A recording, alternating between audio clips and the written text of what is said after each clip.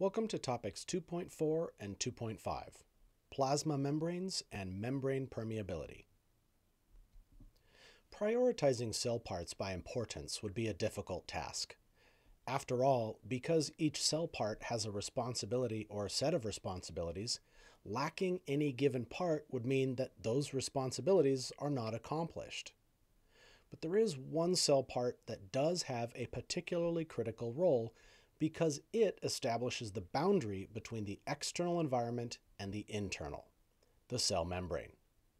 The cell membrane is also responsible for regulating what enters and exits the cell, how cells interact with one another, and how cells respond to proteins and chemical messengers on the outside of the cell.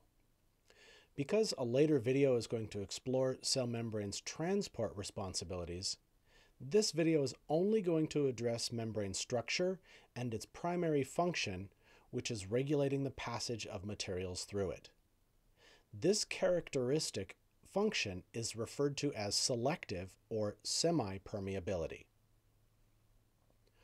All cells, be they eukaryotic, animal, plant, or fungal, or prokaryotic cells, have a cell membrane. There are a variety of molecules that are necessary for the construction of a cell membrane, but the most numerous of them is the phospholipid. A special kind of fat molecule, phospholipids are amphiphilic, which means they have a region that is polar and a region that is nonpolar. The polar region, called the hydrophilic head, is able to interact with water because of the charged phosphate portion. Some phospholipids are modified with an additional charged group, like the choline shown in this one. The glycerol portion of the head is the link to the two hydrophobic tails that cannot interact with water. Other than the phospholipids, there are a variety of other molecules that are embedded in or attached to the cell's membrane. They include proteins that pass all the way through the membrane, called transmembrane or integral proteins, as well as peripheral proteins that are attached to them. Carbohydrates can be found attached to some of those proteins, called glycoproteins, or they can be attached to lipids, forming glycolipids. A special component of the cell membrane that influences how permeable the membrane is is cholesterol. That will be explored in more detail in a few moments. On both the inside and outside of the cell, there are protein fibers that attach to the cell's membrane. On the inside is the cytoskeleton that acts as a scaffolding to help maintain the cell's shape. And on the outside is the extracellular matrix that is responsible for connecting cells to one another. Scientists refer to our understanding of the construction of cell membranes as the fluid mosaic model. This tells us that the membrane itself is flexible, the components within it can move around, and that the composition includes multiple parts which the cell can modify or adjust. Because of the chemical properties of a phospholipid, when placed in water, they behave in very predictable ways. In small quantities, and usually only if the phospholipids have a single fatty acid tail, they form spherical structures called micelles.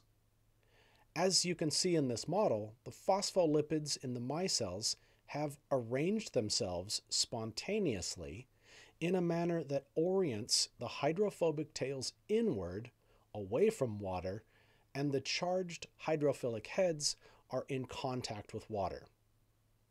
With greater quantities of phospholipids, and depending on other environmental factors like pH and temperature, they will form a bilayer.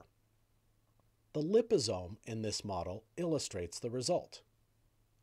At the very interior of the liposome would be an aqueous environment, again in contact with the charged hydrophilic heads, and the same is true for the aqueous exterior environment. For any of these structures, we would find very little to no water in the regions where the hydrophobic tails are present. Because the bilayer establishes a boundary between an internal and external environment, the cell's contents as well as the environmental conditions within the cell are kept separate from the external environment. This model here, showing a portion of a phospholipid bilayer, illustrates regions of the bilayer that would be fully hydrated, partially hydrated, and fully dehydrated relative to each part of the bilayer and the phospholipids that comprise it. Because of water potential and osmotic pressure, topics covered in another video, water can travel directly through the membrane, but does so more readily through transport proteins called aquaporins. This graphic helps to make that point. We can observe on both sides of this bilayer an incalculable number of water molecules. The phospholipid bilayer itself, with its yellow color-coded phospholipid heads and green color-coded phospholipid tails, has a blue color-coded aquaporin for the transport of water molecules. Phospholipid bilayer built structures can fuse together, sharing their contents. This is a fundamental process in the digestion of materials that a cell engulfs. The bilayers themselves can also form pores through which substances can pass. Depending on how the phospholipids around the pore are oriented, it may form a hydrophobic pore for the transport of hydrophobic substances, or a hydrophilic pore for the transport of hydrophilic substances. There are three main factors that influence how fluid a cell's membrane is. The first and probably most intuitive is temperature.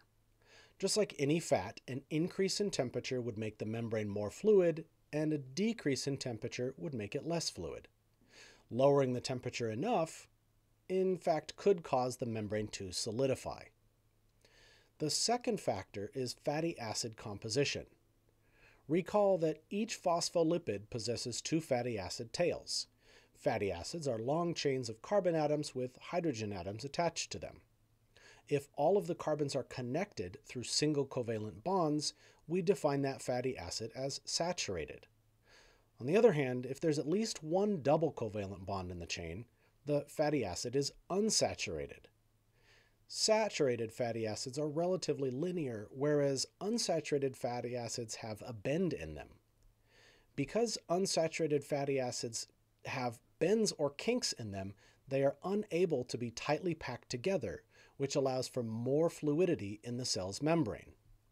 Saturated tails, on the other hand, because they're relatively linear and packed tightly together, make the cell membrane less fluid or more viscous, Generally, however, cell membranes typically have a variety of phospholipids to achieve just the right balance of fluidity. Additionally, cells can alter the composition of phospholipids in their membrane in response to changing environmental conditions. With decreasing or low environmental temperatures, cells increase the proportion of phospholipids with unsaturated tails to prevent the membrane from solidifying at those low temperatures. And if environmental temperatures increase, cell membrane composition is adjusted to contain more saturated fatty acid tails to prevent the membrane from becoming too fluid. A final major factor in influencing the fluidity of a membrane is the presence of cholesterol. Cholesterol is perhaps best known as a component of one's diet, too much of which could present long-term health problems. In fact, Cholesterol in animal cells is a very important lipid based steroid involved with chemical cell to cell communication, transport of certain substances within and between cells, and is a chemical precursor to a number of other molecules, including estrogen, testosterone, cortisol, and vitamin D, for example. As a major component of a cell's membrane, it is responsible for restricting the movement of phospholipids, thereby decreasing fluidity at moderate temperatures, and at cooler temperatures, it disallows phospholipids from packing tightly together, preventing the membrane from solidifying. So, what's the relationship between fluidity of a membrane and the membrane's primary function? Membrane fluidity and membrane permeability are directly proportional. The more fluid the membrane is, the greater permeability it has, allowing more substances to pass through it, and vice versa. A cell membrane that is inappropriately permeable would allow in unnecessary or perhaps harmful substances, while at the same time allowing to escape those substances that cells require in order to function. Membrane permeability does vary based on the cell type in question, but for any particular cell type, think of Goldilocks. This membrane is too fluid.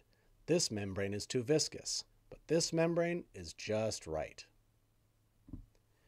So now that we know how the cell membrane is constructed and how it influences selective permeability, what kinds of molecules are free to pass through the membrane and what kinds aren't? Two main factors determine whether or not a molecule can pass through the cell membrane directly solubility in water and molecule size. Some polar molecules can travel through the core of the membrane if they're small enough. But large polar molecules and anything with a charge, like sodium or calcium ions, are restricted from traveling directly through the membrane. Instead, they require assistance from transport proteins, whose functions are studied in a subsequent video. Gases like oxygen and carbon dioxide, as well as hydrophobic molecules, can pass directly through the membrane. This is true because they can pass through the hydrophobic, water-free core of the membrane.